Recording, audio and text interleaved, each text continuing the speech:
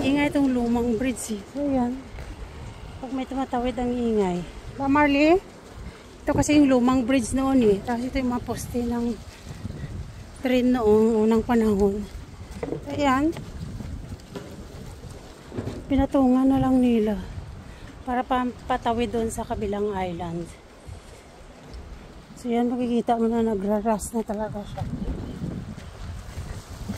Tibay ng mga poste no, ng, ng train. Ayan pa, nakatayo pa rin siya.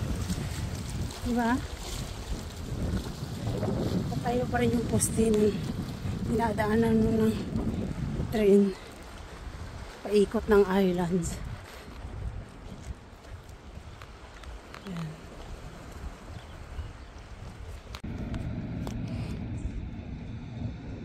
Yan guys, ang daming mga isda, oh. Liliit.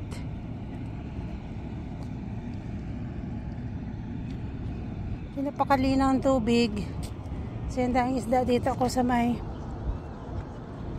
yan, Coney Island. Natatanaw yung airport doon. So yun yung causeway na bridge. Yan. Patawid. Tsaka yung Grotto Beach, ah, Grotto Bay Hotel. So yan, dito kayo mag-walking. Ang daming isda dito maliliit. So yan, magmimix siya. Yun lang guys, thank you for watching. Bye.